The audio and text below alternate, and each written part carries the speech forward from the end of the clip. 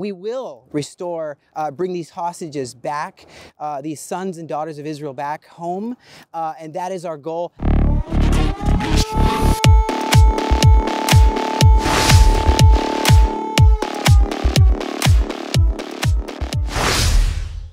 Hey folks, Chuck Holton here. Just a very quick intro to a full interview by a, a, guy that I met yesterday who is an IDF soldier and he has 17 years in service. He's a decorated war veteran already and he's in a special engineering unit that will be going into the tunnels and clearing out Hamas once the ground operation begins. And so I wanted to give you the full interview that I had with him. He also happens to be a Messianic Christian. And so his spiritual take on things is going to be a little different than maybe some of his compatriots, but I think it's very interesting to listen to. And that's part of the reason why I started this podcast because when I make a package or when I do a live broadcast, I'm usually only able to give you just a tiny little sliver of what I am getting out in the field. And I wanted to be able to let you make more of an informed decision about the events that I'm covering by hearing the entire interview, if you like, and forming your own opinion on it. So take a listen. His name is Haim, Master Sergeant Haim, and I, I want you to enjoy this and leave comments below. Let me know what you think, and make sure you like and share it with your friends. Thanks a lot. My name is Chaim Malespin, same way as in Fiddler on the Roof. L'chaim, to life. Chaim means life.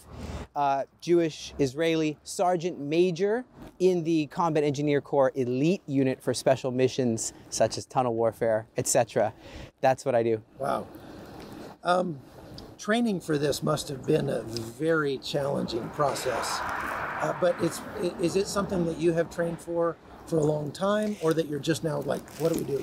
No, so it's uh, I've been in the army now you know, on and off, but I've started in 2005 and then continued on reserves. So I've been in various missions, various wars, including 2006 in Lebanon, uh, as well as multi missions in Gaza and war in Gaza. Got the pins and everything. Uh, have already fought Hezbollah in the in the north, uh, as well the terror group operating in Lebanon, as well as in the south the uh, Nukhba force, which is the elite of the, the Hamas terror group. And so I've had uh, multiple, you know, I've been shot at. Uh, I'm a machine gunist. But yeah, I've been training extensively on our uh, elite units, weapons and tactics for many, many years now. I mean, it's going on 20 years soon, but a lot of things have changed and there's a lot of uh, brushing up. And uh, right now that's happening. Um, so that being the case, you understand. Come this way, just a second. You understand what you're what you're up against here. Uh, what what what are you up against? Yeah. Um, so I would say that the factors, the players involved on the chessboard have strategically advanced against us. Very bad news. Since 2006, the Second Lebanon War and on, there's been a, a huge revamping and uh, and advancement of their powers. Whether it's the Jabhat al-Nusra, whether it's the Islamic Jihad, whether it's, as I said, uh, the Radwan force in Lebanon, whether it's the Izz al-Din al-Qassam forces in in Gaza area, uh, uh and there's there's factors that are operating in Syria. There's people operating in Iraq. There are people operating in areas that we, we don't even talk about. Uh, and so all that working together, we have quite uh, uh, a time on our hands looking forward to be able to return security to our borders and also to dismantle the Hamas group.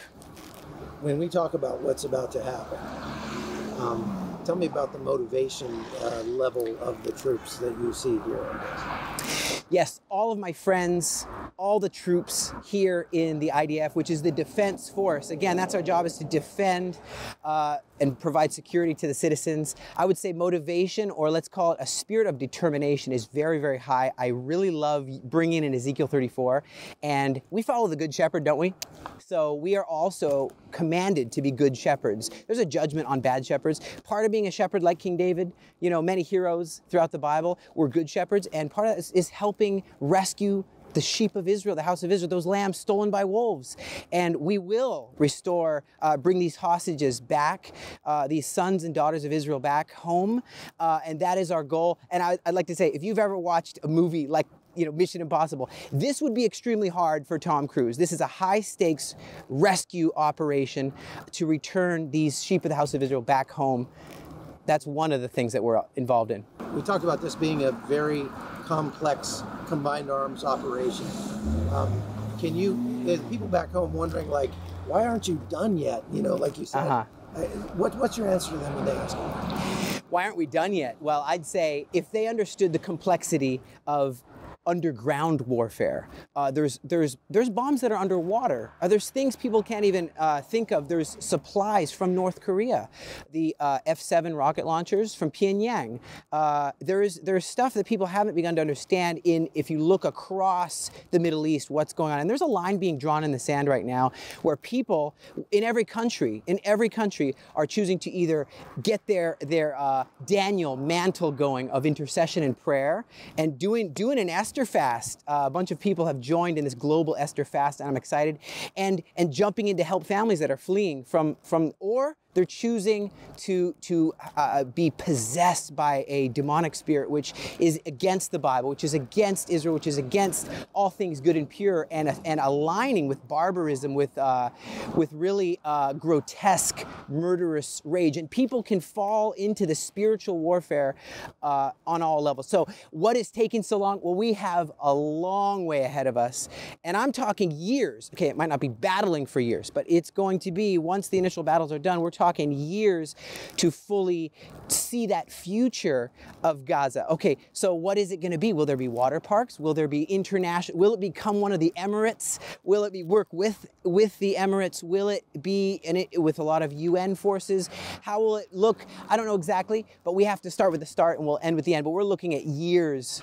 And so we're no, we're certainly not done. We're just getting started. like this. We have to decide what the actual what winning looks like first before we can you know not only do we have to figure out which targets to bomb we have to figure out which uh, places to go and who's going to supply them and who's going to go there but we have to decide what victory actually looks like Correct, absolutely. And what does it mean now? I hear people saying, uh, well, what is the proportionate amount of response? This is called a false dichotomy. Well, what should we act exactly like Hamas did? Start that again I hear people talking about proportionality and, and saying, well, how many exactly did they kill? Should we act exactly like them and go and invade a peace festival? Well, there aren't any peace festivals, and go in and, and kill innocent lives and murder and take hostages? No. Uh, what we have to do is focus on the actual true thought, which is fulfill your mission, restore security, dismantle the threat. That's what we are here to do. And win victory, and victory is not over even then. We have to change. We've tried. I mean, you saw the whole free Gaza. We were out of there in 2005 completely and entirely. They would come in and work, as we know, and receive work permits. And, and uh, we see that they're not able to run a area and govern uh, in a godly fashion. So we're going to have to help them with that. people are so worried about the civilians the innocent people in gaza those same ones who were dancing in the streets when they found out what happened to you but in some sense it sounds like what you're planning to do is actually going to be the best possible thing you could do for the actual innocent people Yes.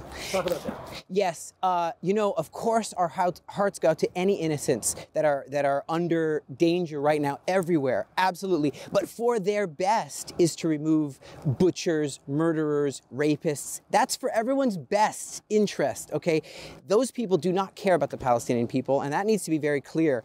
Uh, you know, if anything, we are helping the Palestinian people right now. It's a very hard and complicated and intricate and convoluted process right now, and there's many people in harm's way. There's a lot of work to try to warn them and say, please get out of harm's way. Please do not uh, stand near terrorists. Do not. We are dismantling an entire terror organization, which is very highly trained. With again, the weapons that we've seen are beyond what we even thought, and the skill is beyond what we even thought. We were unprepared, but we are now determined and ready to complete and fulfill that mission.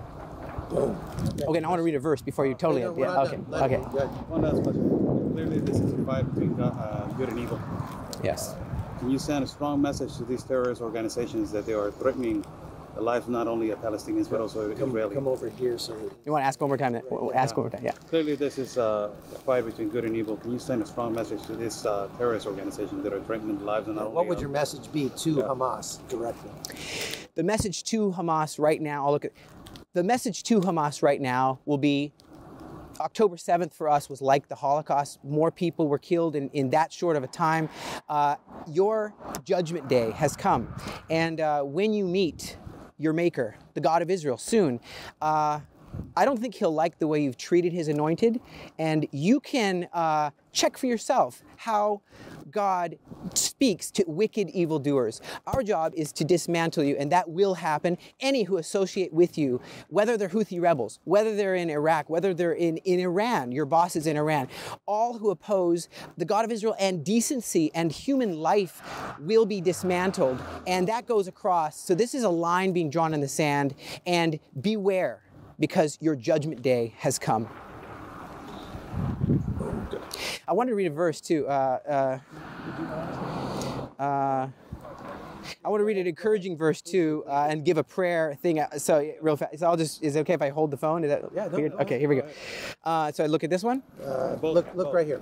right there. Okay. Um, I want to leave an encouragement to any who stand for righteousness, freedom, patriots, who stand for God's goodness. And it's found in the words that Moses penned, well, with his quill on scrolls. Uh, Deuteronomy 33, verse 26 through 29.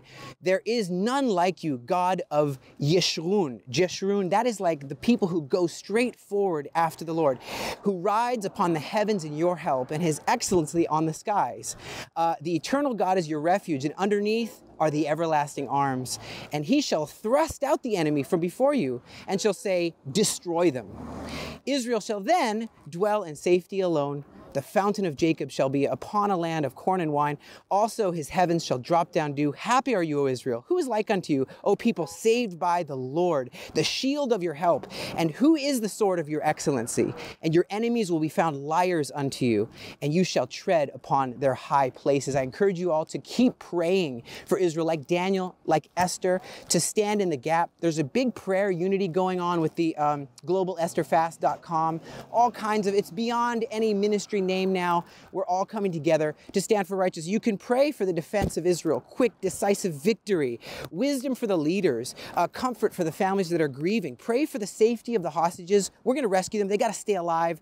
Uh, pray for healing for the wounded. There's thousands and thousands in our hospitals of wounded.